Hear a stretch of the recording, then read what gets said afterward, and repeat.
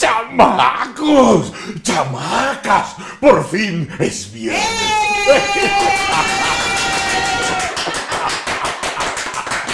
Estamos vivos solo por hoy. Permítanme saludar a toda mi orquesta y desde luego a mi primer violín. Como todos los viernes, eh, siempre es importante saludar al primer violín porque saludando al primer violín saluda uno a toda la orquesta, a estos cincuenta y tantos elementos que me rodean. Muchas gracias por estar aquí apoyando el esfuerzo mañanero. Oigan, en esta galería, mis chamacos, vamos a tener que empezar. eh, eh, desde luego estaba, estaba yo diciendo, bueno, vamos a pensar, a- a pensar que empezamos con algo agradable. No hay nada agradable. Vamos a algo que sea como muy, este, pues algo, algo más, este, como podríamos decir, ligerón, eh, bonito, agradable. No hay nada. Entonces, bueno, eh, le- les, hemos, les, hemos, les hemos traído ahora una colección, pues, de sandeces, de cochinadas, de puerquerías, de trampas, de todo lo que estamos acostumbrados, ¿verdad? Porque no les podemos vender otra cosa. O sea, vinieron por carne de puerco, no hay pollo. Así es más o menos la teoría de esta mañana. Y vamos a empezar con las ciudades temibles las ciudades más peligrosas del mundo. Perdón que comencemos con esto y desde luego a lo mejor ustedes no se van a extrañar, pero es mi obligación decirles dónde están parados. Siéntense por favor porque la noticia va a ser extrema. El Consejo Ciudadano para la Seguridad Pública y la Justicia Penal hace cuyo ranking mide la violencia en 50 ciudades a nivel mundial. Ubica a cinco ciudades mexicanas dentro de las 10 más peligrosas. Quiero advertirles que este ranking se hace ya desde hace 10 años. ¿Eh? Desde hace 10 años y ustedes saben que la violencia hace 10 años empezó a galopar de una forma trepidante en este país. Según la estadística, fíjense nada más, por favor, yo les suplico hasta un poco de serenidad, porque hay gente que hasta los váguidos le han agarrado al enterarse de las cifras. Los cabos, los cabos presentó una tasa de 111.33 homicidios por cada 100.000 habitantes en 2007 y es la primera vez que entra al ranking.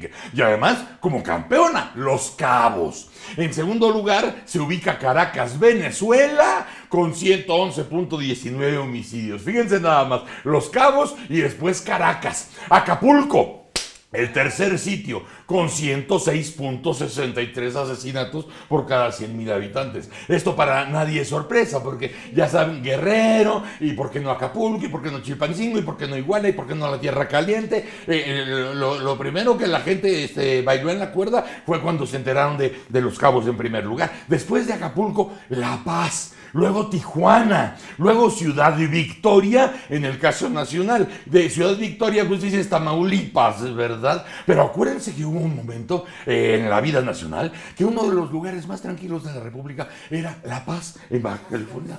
Eh, Era, era, na- no, ahí está tranquilo y todo. Bueno, no, ya está dentro de los primeros, de los primeros lugares de violencia. La medición esta asegura que la violencia ha repuntado en México, como todos ustedes saben, como no iba a salir en el conteo. En 2015, solo cinco ciudades nacionales ingresaron al ranking. En 2017 ya son 12 las ciudades. El estudio considera que, que en México no hay una acción para la erradicación sistemática de las milicias privadas, de los grupos criminales, y también se ha, se ha permitido la impunidad, eh, eh, que llegue la impunidad a los peores niveles jamás registrados. Eso que ustedes sienten la molestia, eh, el miedo, la incertidumbre. Bueno, pues ahora sale graficada con numeritos, con, con- con- eh, eh, con señales, para que ustedes puedan ver la matemática, cómo les da la razón de todo eso que ustedes de pronto se les pudre en el alma.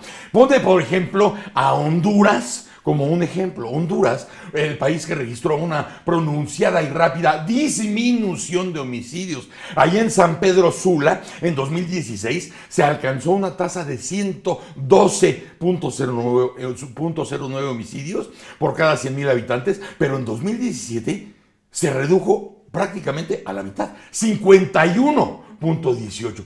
o sea, bajó 54.34% en un año. O sea, aquí también la muestra es, oye, este, ¿por qué en algunos lados sí se puede y en otros lados no se puede? ¿Cuál es la diferencia? Pues será la voluntad política. El caso de una ciudad brasileña que conocí ahora que estuvimos en el, en el Mundial de Brasil, Fortaleza. Fortaleza. Yo, por eso íbamos, íbamos, este, pues, ahí echando la platicada, ahí en Fortaleza, justamente, con, con, este, con Carlitos Loret de Mola. Te mando un abrazo, Carlitos. Y él iba con shorts. Y, yo, este, pues finalmente unos perros de la calle, ¿no?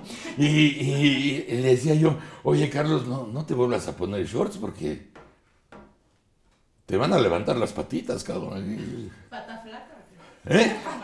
No, no, porque, porque no vayas, o sea, o sea, el ambiente ahí en Fortaleza es tal que dices, este, capaz que te acaban metiendo mano nada más porque vas en, en shorts, ¿no? O a ver qué traes abajo de shorts, ¿no? También pero sí se sentía ya desde esos tiempos que estuvimos ahí en Fortaleza, pues lo que tú quieras, estaba el ambiente y estaba el mundial y todo, pero realmente pues sí, eh, uno está acostumbrado a oler los peligros, ¿no? Y sobre todo en la noche y sobre todo ahí en el, en, el andador que da al mar, ahí, ahí, ahí, eh, pues llegamos a ver cosas, llegamos a ver cosas para no olvidar, ahí en Fortaleza. Y la tasa de homicidios pasó de 44.90 que estaba en 2016 a 83.48. O sea, es prácticamente el doble en 2017. Eso es un incremento del 85.59. El disparo de la violencia homicida palidece frente al que hay en Los Cabos,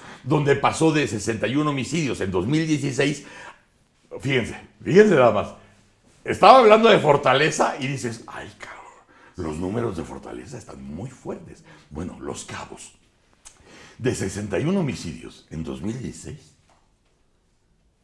a 365 en 2017. Hagan por favor cuenta si fueron a la escuela, si fueron a la primaria, si fueron a la secundaria mejor. Estamos hablando de un 500%. No el 100, que sería el doble, no, 500%. La abrumadora mayoría de las 50 ciudades más violentas del mundo se ubican en América Latina. 17 están en Brasil, 12 están en México, 5 en Venezuela, 3 en Colombia, 2 en Honduras. Se encuentran también eh, eh, eh, con, una ciudad en, el ranking, con una sola ciudad participan Salvador, Guatemala y Puerto Rico. Esta es, perdonen ustedes que hayan empezado de esta manera, pero dices, es que, ¿en dónde metes la ¿En dónde metes la nota? ¿Al principio, al final, en medio? Donde sea, es un macanazo en el hocico, ¿no? Como esto que les voy a decir. Porque ahora vamos a dejar, ahora sí que el aspecto mundial para ir a lo más local, porque además también es cierto que lo más local también acaba siendo lo más doloroso, porque es, lo, más próximo que, tienes. En la Cámara de Diputados, el PRI y todos, iba yo a decir sus, sus, cómplices, pero no son cómplices, son secuaces. El PRI y sus secuaces, ¿qué, qué, qué digo secuaces? Su gavilla evitaron la discusión de sanciones a servidores públicos por contratos que otorgaron a la brasileña Odebrecht eh, con el proyecto Etileno 21. La propuesta la presentó la diputada morenista Rocío Nale y consistía en que la discusión calificada de urgente y obvia, obvia resolución, para que la Auditoría Superior de la Federación iniciara acciones legales con la finalidad de generar sanciones a funcionarios que firmaron indebidamente contratos que favorecieron a la empresa Braskem, filial de Odebrecht. El tema el tema, que además ustedes, bueno, no le estoy enterando yo, no son cosas nuevas. En toda América Latina han caído hasta presidentes de la República por asuntos de contratos mal habidos y de corruptelas con Odebrecht. Vicepresidentes, secretarios de Estado han estado cayendo en, todo, en toda América Latina. Aquí no se ha tocado a... ¿Qué carajo? Entonces el tema se somete a votación y en el tablero electrónico suman 182 votos en contra y 160 a favor. Los priistas, cabrón, se pusieron a gritar, a festejar como si hubieran metido un gol, a aplaudir. Sí, se puede. Sí, sí. Fíjate nada más. Estaban votando en contra de que se investigara. Que gente se quedó con dinero de Odebrecht. Ganan la votación. Y, eh, eh, eh, aplaudir porque nuevamente lograron entre sí la complicidad para impedir que apareciera por algún rincón como la muñeca fea esto que llamamos la justicia. Mientras se votaban la fregadera, los legisladores del PAN, del PRD, de Movimiento Ciudadano desplegaron chica mantota de largo de todo el presidio, eh, eh, no el presidio, el presidium, como decimos este, cuando estamos en el latinajo, el presidium eh, de la mesa directiva con la leyenda Hijos de la estafa maestra, hijos de la estafa maestra, órale, sin órale, así, con las fotos estaban en la manta las fotos del presidente, este, del presidente de todos ustedes, Henry Monster, el exgobernador de Veracruz, este, este, Javidú, estaba Rosario Robles también en la manta, y el candidato presidencial del PRI, José Antonio. A propósito de Mit, a propósito de Mit, este, hubo una ponencia Ahora, bueno, ahora siguen seguimos en las intercampañas, ¿no? Eh, yo sé, no, no, tengo por qué pues, ofrecer disculpa alguna, porque sé que todos ustedes ya están muy aburridos y verdaderamente hasta la madre de todo este asunto de la competencia política, que realmente no es tal. Eh, eh, no, no hay competencia de ideas, no hay competencia de plataformas, nadie está ofreciendo qué hacer o cómo cambiar el destino de este país, nadie lo está haciendo algunos dirán, ah, es que eso está reservado para la campaña. Sí, pero entonces mientras, ¿por qué están echando la hueva? ¿Y por qué nos hacen aburrirnos a nosotros? Es lo que yo no entiendo. Estuvo este en la, en la Expo Antad. ¿Sabes lo que es Antad? De las tiendas estas ah, eh, eh, eh, de autoservicio y departamentales que es, tan potente es la ANTAD que tuvo a los, a los tres principales candidatos. Eh, en, su, en, su, en, su, este, en su expo. O sea, imagínate nada más de, qué negocio estamos hablando. Estuvieron los tres, nadie dijo que no. Bueno, pues ahí estuvo, estuvo este José Antonio Mit y dijo que de ganar la elección, su meta primordial va a ser la de incrementar las corporaciones policíacas. ¡Ay, ay, ay! ¡Qué bien! La urgencia de investigar delitos. ¡Oh! Bien. Porque primero hay que decir, ¿Con qué policías?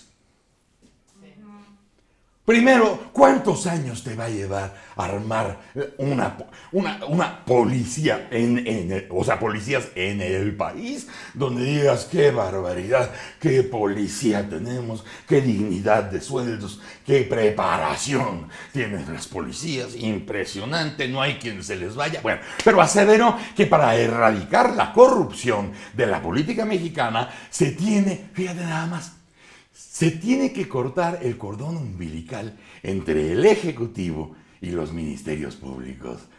Brujo, brujo, hechicero, fantomas mandrake, Merlín.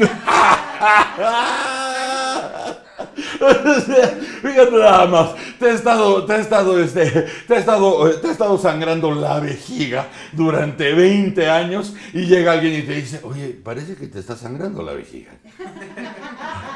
Gracias, muchas gracias. Sí, sí, hay, los ministerios, esto es un tema que ya se ha hablado 1400 veces, ¿no? De que los ministerios públicos no tienen que depender, no tienen nada que ver con el Ejecutivo, porque sabemos que las órdenes de arriba eh, pudren a los que tienen, a los, a los, que tendrían que velar por, por, por la justicia y la seguridad allá abajo, ¿no? Y entonces dice Mid, quien viole la ley tiene que rendir cuentas pero nada más, nada más ve de quién estás rodeado, José Antonio.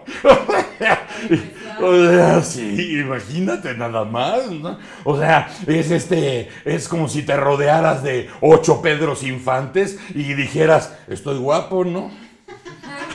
no, cabrón, pues, pues, perdón, cabrón, ¿no? Pero si te están rodeando ocho Pedros Infantes, ¿a poco no tengo carisma, güey? Pues, este, perdón, cabrón, ¿no? Hijo, órale, sin órale, ¿no?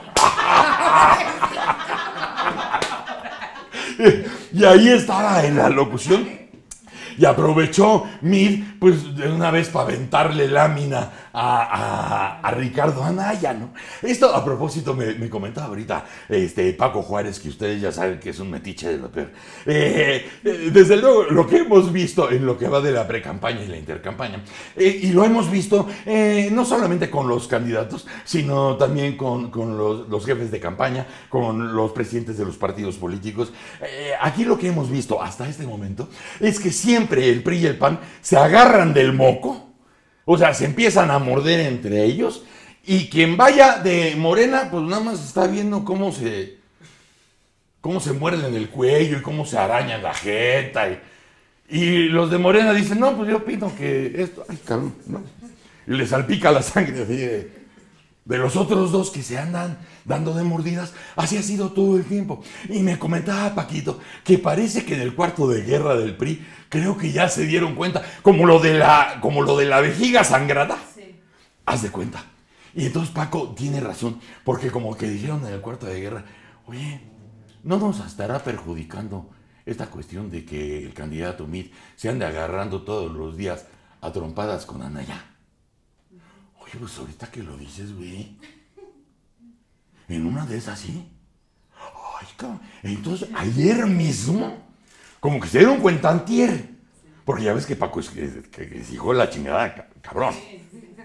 Y se da cuenta ayer cómo en todos los noticieros, en todos los informativos, empiezan a crear una, un ambiente del agarrón entre López Obrador y Anaya. O sea, encontraron un punto de diferencia a partir del presidente, porque ya vieron que Anaya dijo que, que, iban a investigar al presidente si él llegaba a la, presidencia y, a lo mejor lo, encarcelaban. Y entonces Andrés Manuel comentó que eso no, no está en la constitución, no, no, está, no, está, no está muy aclarado, ni nada. Y entonces nada más fue este dime y ese direte, ¿no? Ni, ni siquiera una, una riña. Pero entonces todos los medios de ayer, no, la lucha encarnizada. Eh, es un asunto vida o muerte entre, entre, entre, Anaya y López Obrador como para dejar a Mir aparte, como diciendo, como diciendo, mira, mira qué tranquilo está. Él no tiene broncas con nadie, él es bien tranquilo. Hombre, qué chingón el candidato ciudadano tricolor, ¿no? Entonces, ayer empezó todo eso para que ustedes estén pendientes. A propósito de mí, dijo que lo que, lo que le perjudica a, este, a, eh, eh, eh, lo que perjudica a Anaya, pues no son los señalamientos en su contra, dice Emi. Lo que le, lo que, que le da el traste es la realidad que no quiere aceptar. O sea, explicó que la información pública no miente. perdón, perdón si me cago de risa. la, información pública no miente, ¿no? Y es un hecho, es un hecho que Anaya dice vive por arriba de su nivel de ingresos, que creó una fundación para realizar un negocio inmobiliario, que pese a su puesto que más alto fue de subsecretario, compró una nave industrial que luego vendió a una empresa, ya saben todos ustedes la retaíla. Entonces son sus propias decisiones las que le hacen daño, son sus propias decisiones respecto eh, que pues tendrá que rendir cuentas, ¿verdad? Dice el candidato del Partido Revolucionario Institucional, del Verde, del Ecologista y de Nueva Alianza, quien por cierto, ayer, y esto es una novedad que quiero compartir con ustedes, a lo mejor ya lo sabían, eh, a lo mejor no, pero es, eh, quieren, quieren rescatar a mí de tal manera que ayer inventaron en el PRI la comisión de ética partidaria, cabrón. Ay, no es cierto, broso. Para que revise a ver quién está yéndose por el, por, el buen camino ¿Y, quién está yendo por el mal camino? la comisión de ética partidaria. Desde luego no van a empezar desde los 60, ni de los 70, ni de los 80, ni de los 90, ni de los, ni de los 2000, ¿no? Van a empezar con lo que tengan y ahí es donde dice eh, ojalá me investiguen, ojalá, ojalá la comisión de ética del partido me revise. Como cuando, cuando la Casa Blanca acompaña, ¿no? Con Virgilio. Que Virgilio, Virgilio, ven acá, cabrón. Ven. ¿Qué pasó? ¿Qué, qué, qué, pasó? ¿Qué pasó, Quique? Ahora, me investigas, cabrón. No, pero ¿cómo voy a...? Me investigas. Te lo estoy exigiendo. Te lo, estoy exigiendo, cabrón. Te estoy pidiendo permiso. Ahí donde encuentres algo. ¿Eh? Ahí donde encuentres algo. Ah, ah, búscame ahí donde encuentres algo. Y, y ahí donde encuentres algo, hijo de la chingada. ¿Eh? Sí, Kike, ya entendí. Lo mismo ahora en el partido. Investíguenme. ¡Ajá! ¡Ajá! Denle su 10 ya, vamos a la chingada, ¿no? Bueno, está ya el comité de ética eh, ¡Órale, órale! Ahora vamos con, con el joven Anaya. Ricardo, Ricardo Anaya, el Serillín, el candidato, ya saben, del Frente por, México al Frente. Dice que está siendo objeto de un ataque por parte de Henry Monster Peña Nieto a través de la PGR, cosa que además ya hemos platicado aquí, por eso les digo que se repiten, se repiten, se repiten se repiten, porque se, quedan, se, quedan orbitando en el mismo lugar, no se mueven, eh, tratando de que ustedes, porque los toman, los toman por, por, por imbéciles, a todos ustedes y a nosotros que vamos a estar pendientes de una película que se repite todos los días. Si ves una película, por muy buena que sea, que la ves cinco días seguidos, ya llega un momento que dices, ya, ya, cabrón, ya. O sea, ya vi la película, ya, ya eh, lo que tenía bueno lo vi, eh, lo que tenía que disfrutable lo disfruté, pero van cinco días y aquí van ya, ya para meses, ¿no? Entonces él solicita otra vez que cesen las represalias eh, este, porque lo quieren descarrilar como opción en la boleta del primero de julio. Y soy el blanco. Ay, pásame la, guitarrita. Porque si no, bueno, por sí es ya. ¡Vamos, Y es que yo soy blanco de un ataque. No quieren que sea candidato. No quieren que sea candidato. Yo soy blanco de un ataque. Lo digo yo muy clarito. Que seré yo el que gane, seré yo el que gane. Y lo digo bien clarito. No porque parezca un cerillo. Soy de aquellos pendejos, no soy de aquellos pendejos porque parezco cerillo. Que reque, qué rico, que reque, sabroso, que reque, qué rico, que reque, sabroso. Y se lo digo al presidente. Y también a todos ustedes, también a todos ustedes y que me oiga el presidente. Si llego yo a la grande, lo meteré a la cárcel, lo meteré a la cárcel si es que me tragó la grande. Que reque, qué rico, que reque, sabroso, que reque, qué rico, que reque, sabroso. Riacatán, tan, tan. Mejor se los cuento así. Mejor se los cuento así porque ya, ya podemos, este, como poder ir avanzando. En entonces, este, bueno, ya, ya saben ustedes que lo que yo digo molesta al PRI, que, que, este, que, hay que, que se tiene que investigar, que si el presidente resulta involucrado, que también la pagará. Ya, la pagará. Ya, la pagará.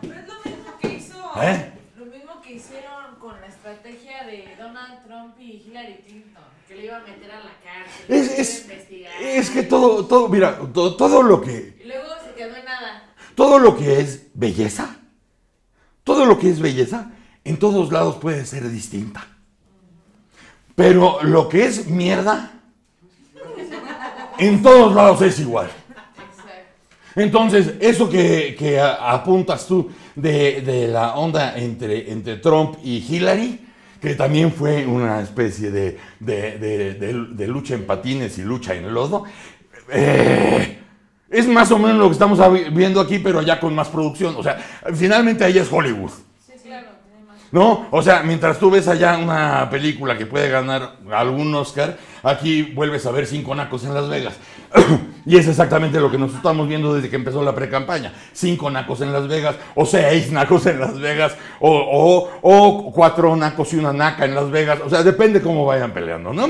Entonces, bueno, este, eh, eh, que necesita México un cambio, que se debe dar con visión de futuro, y, entonces ha, eh, ha estado citando un estudio de la Singularity University de los Estados Unidos, donde, donde se, ven, se ven las diferencias, eh, eh, eh, cambios de paradigmas que se están dando de manera exponencial y no lineal, según indica el nerd Anaya. Ahora vamos con Andrés. El aspirante a la presidencia Andrés Manuel López Obrador asegura que si el titular del Ejecutivo en México quiere limpiar el nombre de su administración, yo no veo cómo.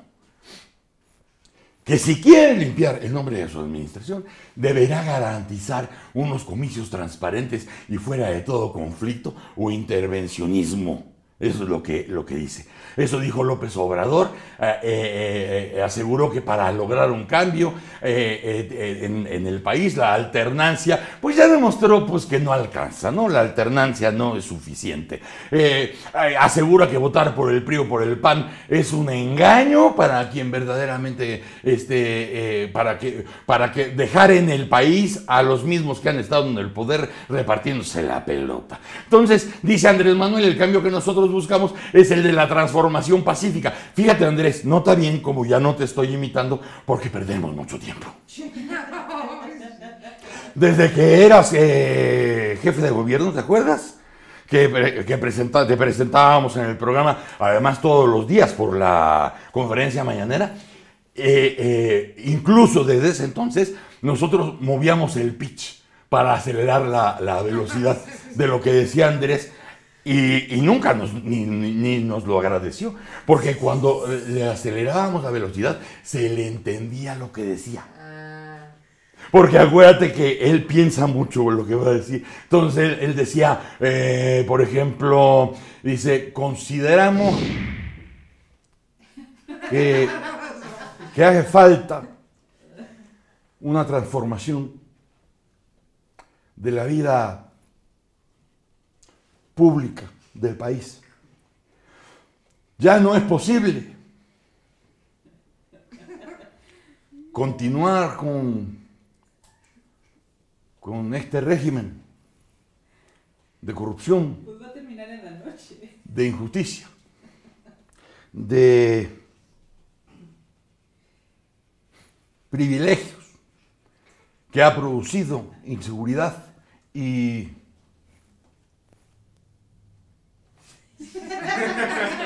y violencia. Entonces ya hacíamos, hacíamos la velocidad, eh, le acelerábamos y todo salía pegadito. Claro. Y entonces hasta la gente decía, oye, pero qué bien habla este güey. Mira qué clarito se le escucha. Pero nada más en nuestro programa, en todos los programas, se oía como les acabo de decir. Bueno, ya, ya, un, un día, un, un día, un día, un día, un día veremos a ver si, si te acuerdas de, de- de- de- cómo logró la gente entenderte. Eh, dice que no se resuelven las cosas con, con la alternancia, que eso es una simulación, que lo mejor es que se garantice la democracia en el país. Él dice que el presidente, el presidente de todos ustedes, Henry Monster, si, si él cumpliera con ese compromiso de respetar la voluntad de los mexicanos, si las próximas elecciones fueran limpias y libres, ese sería un asunto que se le reconocerá a Henry Monster, que será un punto a favor, independientemente de cómo esté su imagen. Incluso Andrés Manuel llegó a decir, dice, yo, yo, le, eh, yo, eh, eh, dijo, este, eh, ¿cómo, ¿cómo se dice? Este, le doy, le doy el beneficio de la duda a Peña. Le doy el beneficio de la duda. ¿Sabes qué, Andrés? Yo no. Yo no. Si tú quieres dar el beneficio de la duda a Henry, está bien. Pues es, es, tu prerrogativa. Pero yo no le voy a dar el beneficio de la duda a, Henry. Así que mejor instrumenta lo que va a pasar si Henry va a estar metiendo las manos en el proceso. Entonces, mejor más bien cuídate con el plan B y con el plan C. Si tú quieres dar el beneficio de la duda, qué bueno eres. Que Dios y las estrellas te iluminen toda la vida. Yo soy un hijito de la chingada. Yo no le doy el beneficio de la duda a, a este, a, a Henry. Ah, Desde que salió con las palomas ya le ponen el beneficio de la duda a todo. Bueno, es que también entiende, o sea, si de pronto, porque Andrés es buena persona, ustedes véanlo siguiendo las palomas.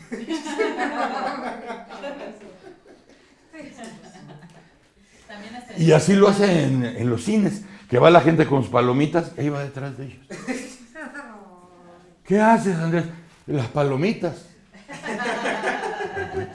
Entonces, bueno, sí, eh, es- vamos a llamarle un- a lo mejor un, un al- un- un al- un alma que necesita guía, vamos a, a- a decirle así. A lo mejor puede ser una buena alma que necesita guía. Este, ah, tienes, tienes, ti- tienes eh, video acerca de ello, ¿no?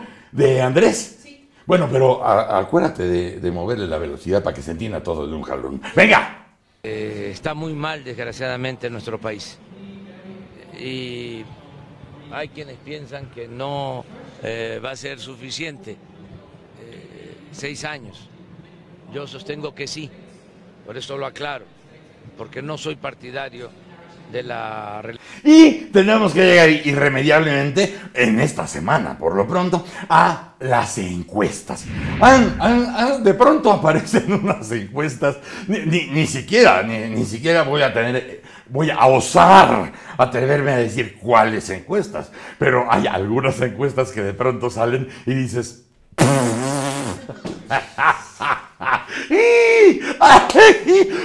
que dices, no, por Dios, no. O sea, eh, ¿te te acuerdas de la marca esta Mi Alegría? La que sacaba este, las pelucas y las zapatillas. Bueno, hay también encuestas Mi Alegría.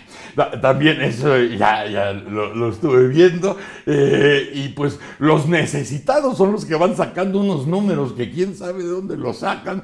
Con unas empresas que con todos mis respetos, este, pues, pues extrañas. Ni siquiera voy a decir buenas o malas para no caer en los calificativos. Nada más decir singulares. ¿verdad?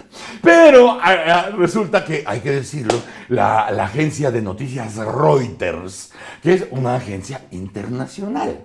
La, la Reuters es una agencia internacional. Y entonces hizo eh, con, la, con la encuestadora que se llama Parametría, que es muy conocida en el ámbito nacional, eh, hizo una encuesta. Encuesta que se llama este, eh, Reuters Parametría. Reuters, desde luego con, la, con el nombre que tiene en el mundo, pues no puede darse el lujo de meterse un quemón. De darle puntos de más a alguien o eso, porque se quemaría instantáneamente en todos los países donde opera. No es negocio.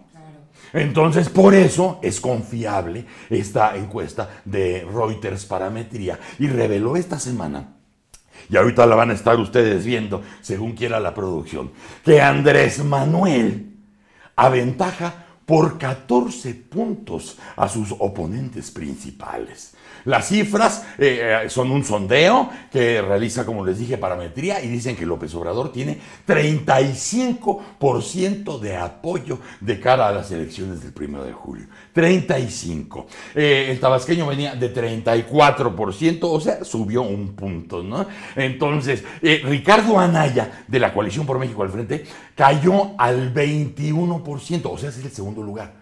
Pero fíjate, 35% y el segundo lugar, 21%. Dice la encuesta que él estaba, que, eh, que Anaya estaba en 23 y que cayó dos lugares, seguramente por toda la escandalufia de las cosas este, inmobiliarias y todo eso. Pero el tercer lugar, perdón que lo diga así, el tercer lugar indiscutible, adivinen quién es. Yo. Margarita. Túmero. Hashtag Túmero. José Antonio. Pepe Toño, el candidato del de, del PRI, eh, por segunda mes, el segundo mes consecutivo, ahora este, eh, eh, está en 16%. La última vez estaba en 18%. cayó dos puntos. Los mismos dos puntos que perdió Anaya, los mismos dos puntos los pierde Mid, lo cual está, eh, eh, confirma lo que estábamos diciendo al principio, que se dio cuenta Paco Juárez. No está haciendo negocio el- la bronca entre Mid y Anaya, porque, porque a lo mejor pierde, pierde puntos este, Anaya, pero los mismos los pierde Mid. Entonces ya no hay negocio, ¿no? Fíjense nada más que curioso. Eh, Margarita, Margarita Zavala, Jaime Rodríguez, eh, el Bronco, también eh, eh, subieron, subieron su porcentaje. Margarita ya está con 10. Ojo, no, no, pero ojo. El tercer lugar está en 16. Sí, está cansado. O sea, imagínate que uno pierda y otra suba. O sea, realmente alguien decía con muy mala leche. Chispas, ya se me olvidó aquí, mira. Pero decía, bueno, este, indiscutiblemente el candidato del PRI está pisando de los talones a Margarita. Así es. Entonces Margarita tiene 10%, el Bronco el 5%. Este sondeo se basa en entrevistas a 800 personas en sus hogares. El 12% no respondió, dijo que no sabía o que no podía elegir o que le valía madre. Se presume que la encuesta tiene un margen de error de 3.5 puntos porcentuales. Eh, Entonces, a lo mejor es importante para el segundo y el tercer lugar que tienen 21 y, y 16. Eso es, eso es 3.5 más o menos. Pero para que va en primer lugar con 35, pues realmente el 3.5 o el 3.4 o el 3.3 es igual, ¿no? Este, eh, también el, diario, el diario Reforma le dio una ventaja a Andrés Manuel de 8 puntos. Y, y es la empresa de Roy, ¿no? Mitofsky. Roy le, le da una brecha de 5 puntos porcentuales. Entonces, pues este, ustedes, ustedes podrán hacer ustedes sus cuentas, ¿no? En una, este, la ventaja es de 5, en otra la ventaja es de 8 y en otra la ventaja es de, de 14. ¿No? O sea, si hicieran un mix, a lo mejor tendrían los números que pues, eh, al único que le van a dar gusto va a ser al tabasqueño, porque en, las tres combinaciones el tabasqueño saldría en primer lugar. Es, eso, eso que ni que. Fíjense nada más lo que es la, la- la vida, para salirnos un poco del pantano eh, electoral, eh, para meternos a otro, desde luego. Viviéramos en otro lado, o sea, sales de un pantano, ah, ya salimos del pantano, vamos a otro. Así, así vivimos, así vivimos aquí. Eh, fíjense nada más lo que se descubrió. Que es un gran trabajo, ¿eh? es un gran trabajo el que hicieron. Eh, eh, tuve, la oportunidad de, platicar con, con la gente que estuvo al cargo de esta investigación. Muy bien. El 70%, fíjense nada más, el 70% de los contratos del gobierno actual, el 70%, se han asignado mediante adjudi- adjudicación directa. O sea, sin competencia de por medio. ¿Cuándo se supone que lo lógico y lo justo sería la licitación? Oye, este, yo voy a comprar mil, mil sábanas para un hospital. Entonces tú vendes sábanas y dices, bueno, pues ya las sábanas que quieres las tengo a... Por, si me compras más de, 10, de, de 100 mil sábanas, pues te la dejo en dos pesos la sábana. Y, tu competencia, que es Verónica, dice, yo también, este, yo también hago lo de las sábanas, este, y si me compras más de, de un millón, pues te lo dejo en un 80. Entonces tú dices, bueno, este, a ver, vamos a ver los materiales, vamos a ver esto, porque está atractivo esto del 1.80, eh, a lo mejor, a lo mejor nos gustan más o son más útiles para los hospitales la, la- la primera, la, primera, la primera licitación y a lo mejor vale la pena pagar esos dos pesos porque nos van a durar más, ¿no? Ya es la esa es la licitación. No, aquí el 70% es este, ¿cómo te llamas? Violín. Felicidades, ya tienes el contrato, cabrón, ¿eh? ¿No? Y ya sabes cómo me llamo, ¿no? Te voy a comprar 5 millones de sábanas. Ya sabes dónde encon- ya sábanas dónde encontrarme, ¿no? Por así un regalito, una cosa, un detallito.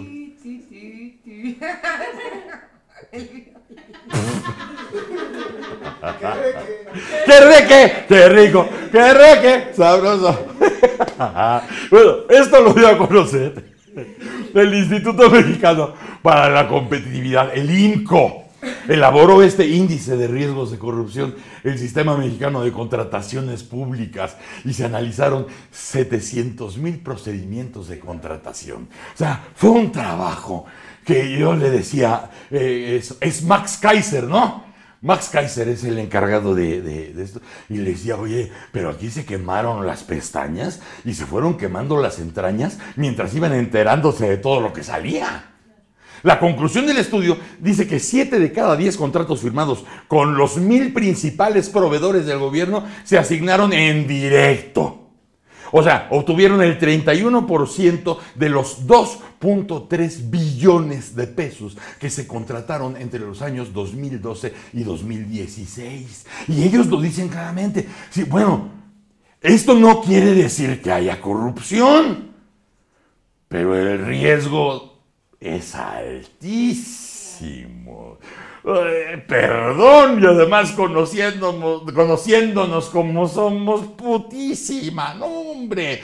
Si, te, si el 70% lo vas a escoger tú y dices, bueno, pues ya te podrás imaginar. Y ellos, pues en- ahora sí que con un gesto de- de- de- de cortesía, dicen, no estamos diciendo que sea corrupción, pero pues se puede prestar, ¿verdad? Fácilmente. El organismo detecta en el análisis que realizó durante un año es que a través de Compranet se advierten tres variables y ahí es donde empiezan las chingaderas. Por ahí vienen las alertas. Por ejemplo, falta de competencia y de transparencia, ¿no? Y la existencia de anomalías, por ejemplo. Se detecta que algunas de las empresas a las que se le asignaron contratos, por ejemplo, carecían de registro federal de contribuyentes. cabrón. o sea, pues, o sea, sin RFC, ¿no? O sea, no existen fiscalmente y, y no, no, pues eh, evidentemente no podían proveer ningún servicio ni ningún bien al gobierno ni a nadie, ¿no? Las cinco entidades que gastan con mayores riesgos de corrupción son la Comisión Federal de Electricidad, el ISTE, el Seguro Social, aeropuertos y servicios auxiliares, y desde luego no podía faltar la Secretaría de Comunicaciones y Transportes. En esta administración no, nunca se salva de cualquier lista bochornosa la Secretaría de Comunicaciones y Transportes. Max Kaiser, como les decía, el director de anticorrupción del INCO, dice que es un factor que ah, eh, habría facilitado asignaciones directas. Es que al principio de esta administración federal se tenía, ustedes se acordarán, la intención de desaparecer la Secretaría de la Función Pública. Realmente la revivieron con lo de la Casa Blanca, ¿se acuerdan? Sí. O sea, realmente ya la Secretaría de Función Pública ya era un bote que se pateaba, nada más, ¿no? Entonces, como no se, no se usaba, pues permitió que los responsables de cada secretaría o de entidad pública, pues empezaran a designar a sus propios contralores. Es decir, como no nos va a cuidar la función pública, lo mismo de siempre. Te ordeno que me cuides, güey. Y hay de ti, si me detectas algo, porque vas y chingas a tu... ¿Ah, no? Así es.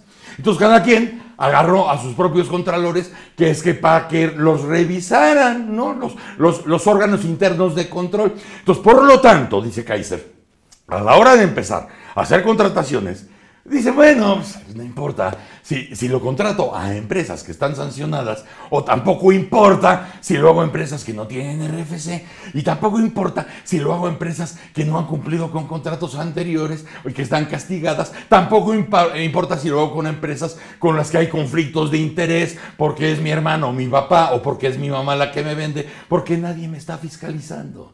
Ese es el sentido de toda la administración. Aunque la adjudicación directa está contemplada en la ley, o sea, sí se contempla. Por eso decían desde el principio, no necesariamente eh, tiene que decir corrupción, pero como somos y como estamos, se presta perfectamente para la corrupción. Entonces, la adjudicación directa sí está contemplada en la ley. Su utilización debería ser, fíjense lo que dice la ley, excepcional. Si es una adjudicación directa, debe ser excepcional. Sí, eh, las- ¿y ¿Cuáles son las circunstancias? Eh, que el proveedor sea el dueño de una patente, por ejemplo, de una medicina que nada más tiene él. Dices, bueno, te adjudico directamente esta compra, porque esta medicina que necesito, nada más la tienes tú. Eso es una excepción, ¿no? O razones de seguridad nacional. Que dijeras, necesitamos estos aviones eh, para buscar droga, eh, y este modelo que necesitamos nada más lo tiene esta, esta compañía. Entonces vas con esa compañía y dices, este, pues te tenemos que comprar a ti eh, 10 aviones o 15 aviones. O, por ejemplo, o sea, nunca falta, nunca falta entre, entre la muchedumbre alguien que empieza a echar el desmadre, ¿no? Poniendo como ejemplo lo de Pegasus, exactamente. Que dices, ¿dónde vamos a encontrar un programa, un, pro- un, un software donde podamos espiar a los opositores, a los periodistas, a, a los activistas, a los de derechos humanos, ¿quién nos podrá vender eso?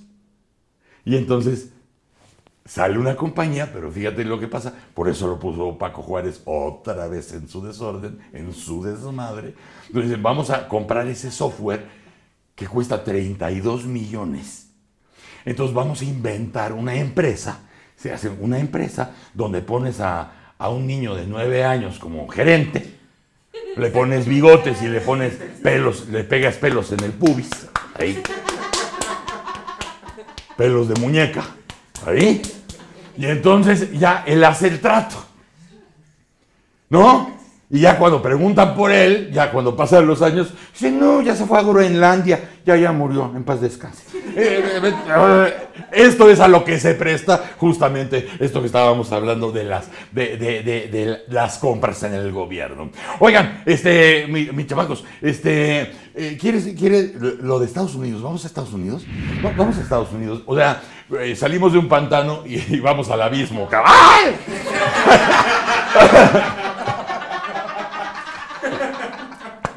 Porque. No, pues es que. O sea, a Trump ya realmente sí, sí es el líder de la, de la, la- la- potencia eh, más grande del mundo. Pero, pero no porque seas el líder de la potencia más grande del mundo, nada más falta que te orine un perro. Porque fíjate, este, eh, eh, este, súbete tantito, súbete tantito aquí tu peinadito para, para, para ver. Pero súbelo, súbelo, súbelo, súbelo un poquito. Exacto, ese es- este, sí, así te ves muy bien, así te ves muy bien, gracias. Te ves muy lindo así, porque se le cayó el fleco de pronto. Dije, no, no, no. Así, uy, uy, si ustedes pudieran ver. Uy, qué. Este, fíjate nada más. eh, en, la, en la- en la misma temporada, o a lo mejor no fue el mismo día, ¿verdad? Lo- El mismo día. O sea, podríamos ser un día en la vida de Trump. Primero sacó el tweet, Eh, primero, sacó el tweet que dijo que, que eran fake news, que la Casa Blanca En caos. en caos. eh, o sea, un tuit de- de- se- que lo- se lo saca de la almohada de la mañana y dice, no es cierto que haya caos en la Casa Blanca, mienten.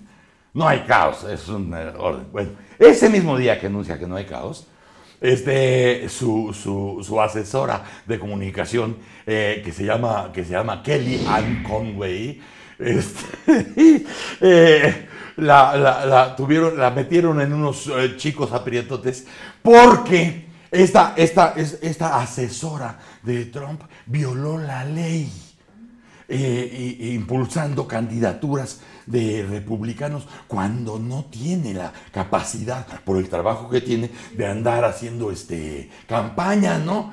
De- no puede estar haciendo campaña y entonces incluso uno de los este, de los de los de los eh, candidatos republicanos estaba, era sospechoso de pedofilia.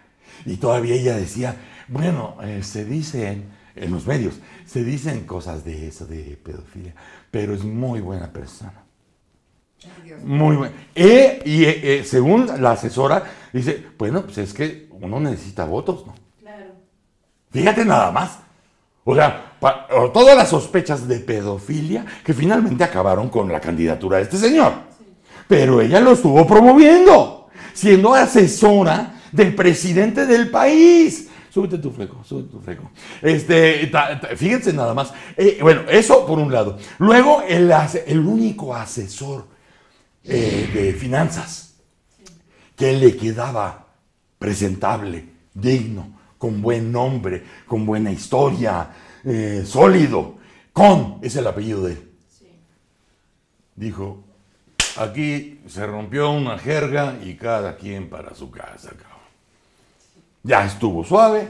Entonces eh, decían los, los, los expertos de finanzas, decir, señoras y señores, este, con la renuncia de este señor, todo lo que queda ahí, este, ahí dentro son, es un circo.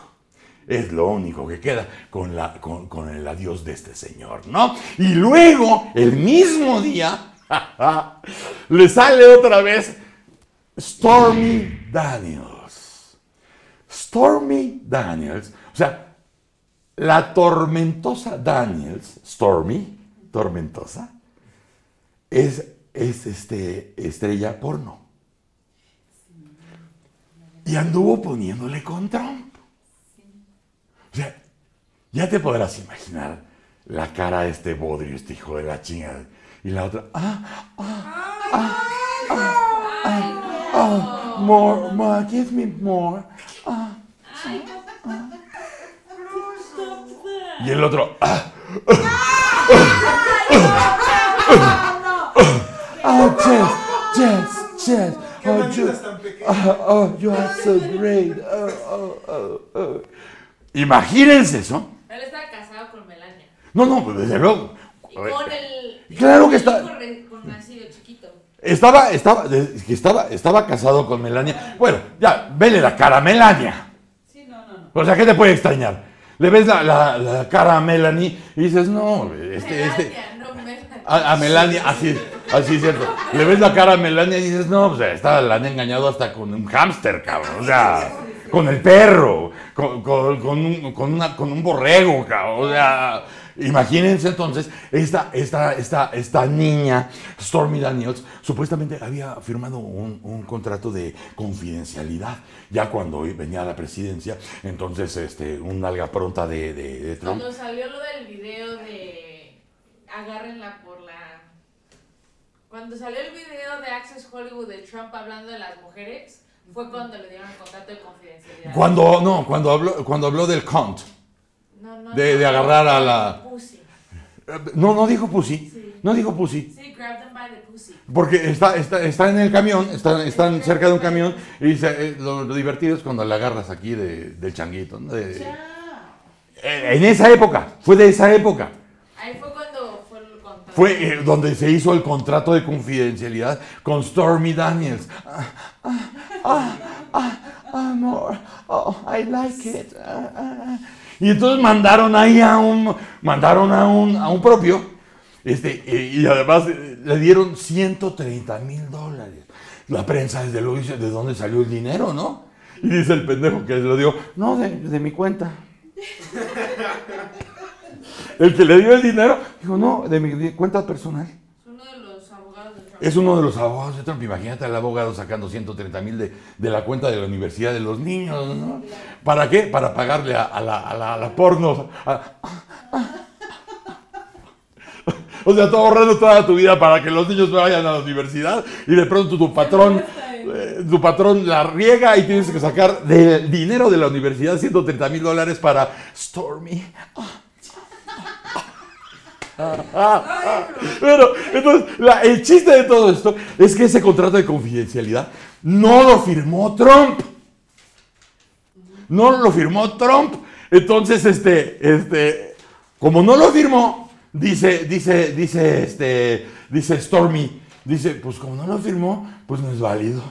Entonces yo puedo contar todo lo que hicimos esas noches, María Bonita, allá en Acapulco. Ah,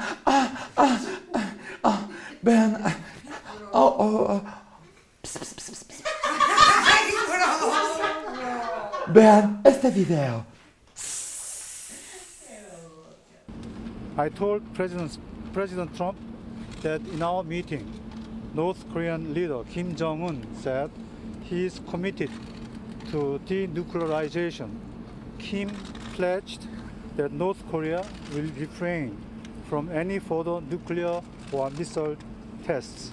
He understands that the routine joint military exercises between the Republic of Korea and the United States must continue and he expressed his eagerness to meet President Trump as soon as possible. President Trump appreciated the briefing and said he would meet Kim Jong un by May to achieve permanent denuclearization. The Republic of Korea, along with the United States, Japan, and our many partners around the world, remain fully and resolutely committed to the complete denuclearization of the Korean Peninsula.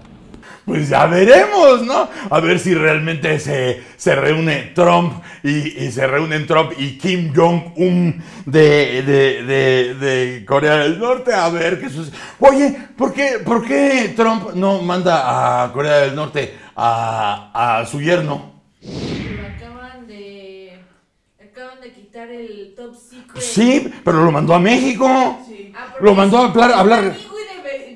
No, lo mandó a hablar con Peña, con tu presidente. ¿Hablaron? ¿No, ¿no estuvieron, Paco? Como tres horas. Entonces digo, si usas a, tu yerno para que vaya a ver el presidente del país de abajo, pues mándalo a Corea del Norte, a ver si te lo recibe Kim Jong-un. Dice, ah, sí, usted viene a hablar conmigo. Bájenle los pantalones. Volteenlo mirando al norte. Agáchenlo y ya no te digo más. Este, bueno, eh, eh, a ver, ¿por qué no mandas a Kushner allá? Te diga, vamos. Bueno, eh, Donald Trump está afinando los detalles de, de- cómo va a estar lo del muro. Está muy preocupado con el muro. Le iban a, dar a enseñar unos prototipos ahí en San Diego eh, eh, para ver cuál es el tipo de muro que le gusta, que quiere edificar con la frontera de nuestro país. Henry Monster dedicó tres horas para atender al yerno del presidente. O sea, eh, tiene una como asesoría, pero ahorita recordaba la productora, le quitaron, le quitaron privilegios dentro de la Casa Blanca al yerno. ¿Por qué? Porque pues, eh, está, está metido en sospechosas cosas y entonces ya el grado que tenía de información eh, se lo degradaron. O sea, que nos mandaron, si ya de por sí el yerno es un gato, un gato de medio pelo. Y estuvo el presidente de todos ustedes tres horas. Yo quiero ver a, a, a quienes de ustedes lo recibe media hora. Ni un minuto. Pues, pues, no, pues, estoy diciendo, si, si está recibiendo a un donadie por tres horas, porque es el yerno de un cabrón, ¿por qué no te recibe a ti media hora? Pues igual, porque si, si, si manda eh, a Kushner, bueno, tú dices, bueno, que lo reciba Videgaray y, y ya, o sea, siendo canciller, porque pues a lo mejor bastaba con un subsecretario de Relaciones Exteriores, digo, para que hablan más o menos entre iguales.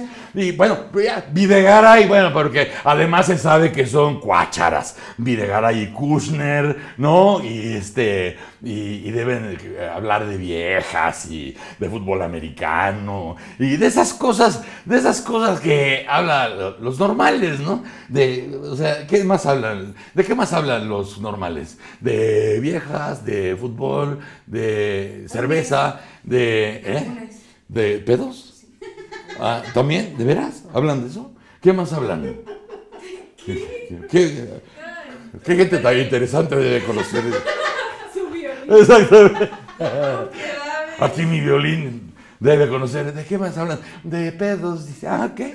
Entonces, Droga, de. de todo eso deben hablar, el Kushner y Videgaray, con eso hubiera bastado. Pero él, eh, este, lo, lo mandó el, el suegro para encontrarse con el presidente de ustedes y con Luis Videgaray. Lo recibieron ahí el primero en las instalaciones de las relaciones exteriores y también eh, tres horas para él, ¿no? En un comunicado que se difundió, eh, este, la Cancillería dijo que el objetivo de la reunión era reiterar el trabajo conjunto para lo- lograr acuerdos benéficos para ambas naciones, o sea, todo esto que ya es así como, como, como un, un- un machote, ¿no? Eh, al, al- al presidente de ustedes lo acompañaron a la reunión que se celebró en Los Pinos, fíjate, lo reciben Los Pinos, al, al, al yerno, cabrón, puta. Ay, ay, Enrique, cabrón. Ay, Enrique, ¿qué vamos a hacer contigo, cabrón? Tanta oportunidad que te dio la gente. ay, Enrique. Ay, cabrón. Con ganas de. de. Váyase a la cama sin cenar, cabrón. No, me, mira, me quise ahorrar lo de las nalgadas, porque no, no, no me vas a agarrar del picho, amor, ¿verdad? Nada más con mandarlo sin cenar a la cama, es impresionante. Y eso, y eso, eh, ah, perdón, perdón, eh, productora, pero eso es una cuestión que, que se nota mucho en, en los, en los acuerdos del TLC. ¿Sabes qué es la personalidad del país? Eh, eh, eh, el, el presidente de Estados Unidos está loco, es un inestable, es un bipolar. Y eso se nota en las negociaciones porque los negociadores van con lo que les dicen, con lo que les dice el presidente. Entonces ves que hay mucho desmadre, que hay caos, que un día dicen una cosa, que otro día dicen otra, pero hay poder. Entonces, la personalidad de Estados Unidos es desatinada como el presidente, pero poderosa como la presidencia. Ustedes ven en los canadienses el perfil, la personalidad de decir, este, conmigo no te metes, cabrón, ¿eh? Conmigo no juegas, ni me haces menos, ni me haces un lado. Tú me dices, tú me, tú me dices por qué lado y por ese lado te contesto. Esa es la personalidad. Y la gente que ves en las negociaciones, gente muy alegre, muy tranquila, eh, gente experta en sus cosas y llegan y nadie, nadie los, los, los bocabajea ni un milímetro. En el caso de México, que tiene muy buenos negociadores, tienen un presidente blando. O- En el momento que, que se le ocurrió a- a- a Henry Monster y a Videgaray traer a Trump cuando era candidato, ahí se bajaron los calzones. Y le bajaron los calzones al país. Entonces ya, con, con- con- esas historias, los negociadores no pueden llegar con esa fuerza con la que sí llegan los canadienses. Por la dignidad. Decir, a nosotros nadie nos manosea, no se puede hacer. Y esta es la- la- la falla que tiene la personalidad de nuestro país por culpa de los que gobiernan, que no pudieron decir no a tiempo y decir con el país no se juega, con la gente no se juega. No lo pudieron decir y eso es lo que se nota. Bueno, en fin, este, entonces eh, en, Los Pinos eh, estaba el secretario de Economía y Delfonso Guajardo, que es uno de los negociadores estrellas del Tratado de Libre Comercio. Estaba también, desde luego, ¿quién? Videgaray, ¿no? O sea, el día que tiene que salir en todas las pinches fotos, ahí está, ¿no? Y, y con el yerno, eh, con, con el yerno que recibieron en Los Pinos, con el yerno que recibieron en la Secretaría de Relaciones Exteriores, venían Kimberly Breyer, eh, subsecretaria para el hemisferio occidental del Departamento de Estado, personal del Consejo de Seguridad Nacional de Estados Unidos. Este, creo que no me haga caso, no, no, no lo puedo asegurar, pero por ahí me dijeron que entre la comitiva venía Stormy. Ah, Yes. Amor. No sé qué onda. No lo puedo asegurar. No lo puedo asegurar, pero se oyeron esos gemiditos en la cajuela. No lo puedo asegurar. Bueno, que cabe también recalcar que Kushner viene después de que cancelaron la Permítame. que cancelaron la visita de Trump a México Sí, eso la gente lo sabe. Peña Nieto no quería No. eh, este afectar a la campaña de Mid. Fíjate, fíjate, fíjate. Eh, yo para eso estoy aquí. Para ser vocero de lo que diga mi productora. O sea, eso es a lo que me dedico ya, finalmente cabe de eso, de vocero de la productora. Nada más que les recuerde a ustedes que esta visita de Kushner tiene que ver obligadamente con este, este, este, este, este malencuentro telefónico que dicen tuvieron los presidentes Trump y Henry Monster. Eh, un- unos, unos decían que era pues por lo del muro. Lo cual eh, a mí se me hace muy mamirretas el, el- el- pretexto. No, es que estuvieron hablando 50 minutos y Trump estuvo diciendo del muro y el presidente Peña estuvo diciendo, ni madre, güey. Ni madre. Ten tu pinche muro. Así en el teléfono le decía.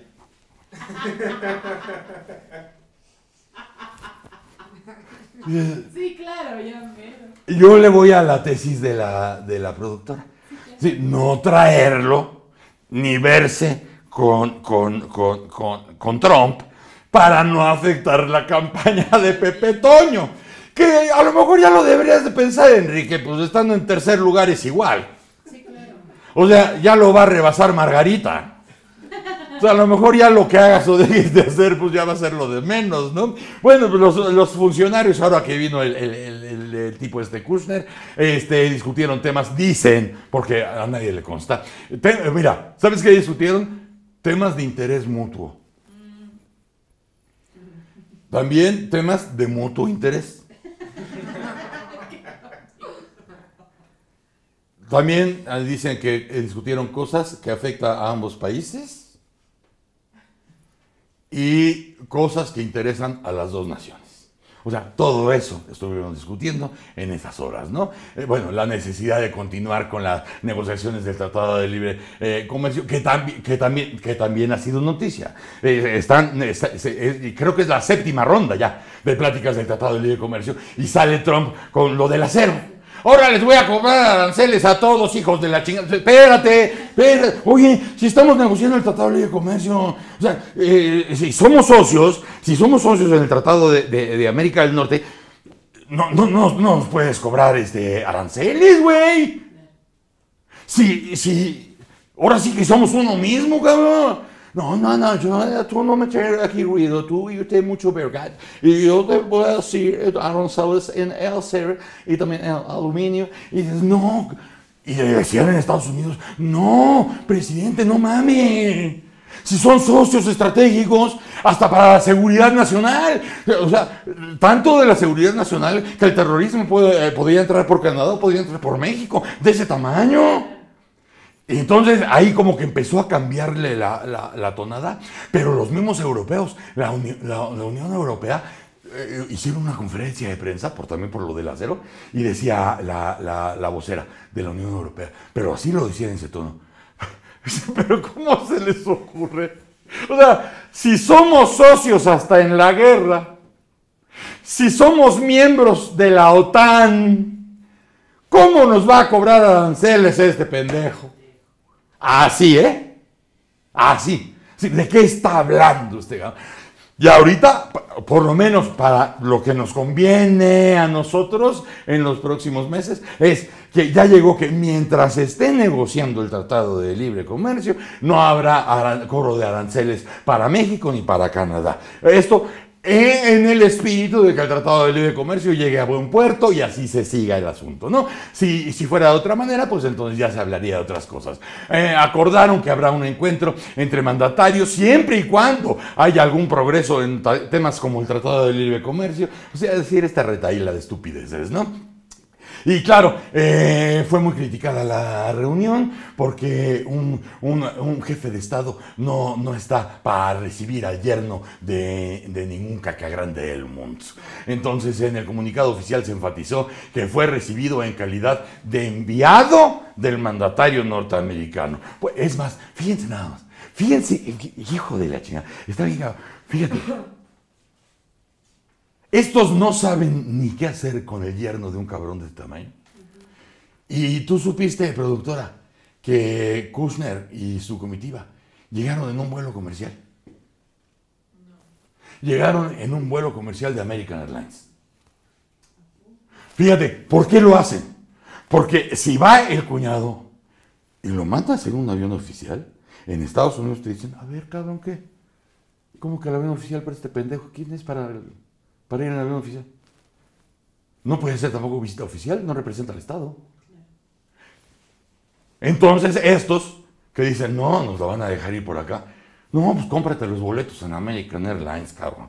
No, este, vamos, vamos seis, pero compra, cómprate diez filas, hijo de la chingada. Y ahí vemos cómo le hacemos y bajamos como turistas y, la, Fíjate, hasta ellos, hasta ellos calcularon esa cuestión. Aquí, este, eh, bueno, ustedes nada más para que sepan, este tipo Kochner ha, eh, ha sido señalado últimamente por conflictos de interés y por tener algunos supuestos vínculos con el Kremlin. Aquí tienen ustedes la caricatura del monero Hernández que, nos regala una imagen muy chida donde están viendo ustedes a Kushner con Luis Videgaray y dice Kushner por, los asuntos que trae allá, ¿no? Dice, no, tal vez me echen de la Casa Blanca. Y dice, dice Luis Videgaray, ¿quieres un animalinalco? ¡Ah! Muy buena, muy buena esa caricatura. Oigan, eh, en este momento nos tenemos que, nos tenemos que retirar ya. Eh, no obstante que ha sido un placer, ¿qué un placer? Dos placeres, tres placeres estar con ustedes esta mañana en la Galería Mañanera. Este, eh, les, voy a decir que pongan like, que compartan, que se suscriban inmediatamente en chinga, que activen la campana, porque nosotros los vamos a dejar con un video que es en conmemoración del Día Internacional de la Mujer. Ya aprendí yo ayer que no se es de felicitar, que no es de... Y como yo no tengo las herramientas para poder, eh, no tengo las herramientas para conducirme correctamente en una fecha de esta importancia y, y de este tamaño, aquí hay un video que parece que está eh, con los eh, mejores estándares para conmemorar una fecha tan importante como el Día Internacional de la Mujer. Si tienen gadgets, ahí me ven. ¡Órale!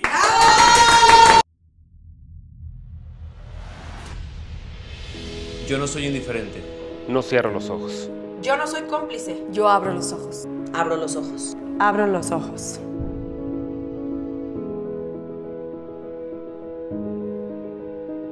La indiferencia también es violencia. También es violencia. También es violencia. Tu indiferencia Tu indiferencia También es violencia. También es violencia. También es violencia.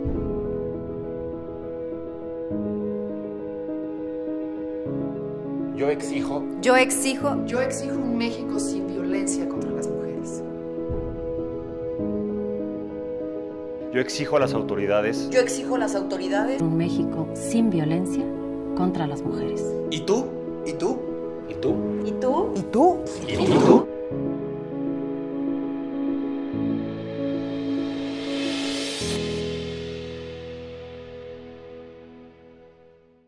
Niños y mis niñas, si les gusta lo que acaban de ver y lo que les falta, comenten, compartan, eh, denle el dedito a quien quieran y suscríbanse. ¡Órale!